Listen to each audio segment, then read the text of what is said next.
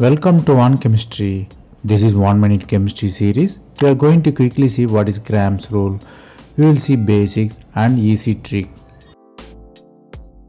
What is Cram's rule? Cram's rule is a stereoselective reaction of nucleophilic attack on the carbonyl group. The carbonyl near to the chiral carbon, that's why the reaction is interesting. You have to predict which project is major. In this case, we have to predict which is major. Methyl above is major or below is major. The rule is help you to predict diastereoselective addition. The selectivity is simple. The nucleophile attack on the less hindered side. Here 1 2 carbon is there, carbonyl is the second one. Here you have to convert into the Newman projection for better understanding. Then CH3 minus attacks. You have to predict which side attack. Both side attack is possible. CH3 attack on the small less hindered side.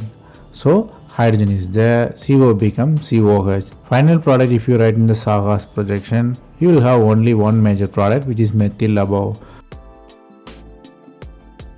Instead of finding the detailed mechanism, the easy trick can be used. Here you have to find large group which is phenyl here and see whether it is syn or anti. So you have to find large group is syn or large group is anti.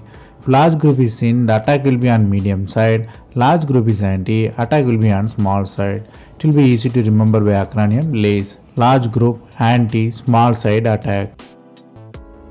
Here given problems to practice yourself. Here check yourself with 4 examples. You have to remember the large group and CO is anti means small side attack, syn mean medium side attack.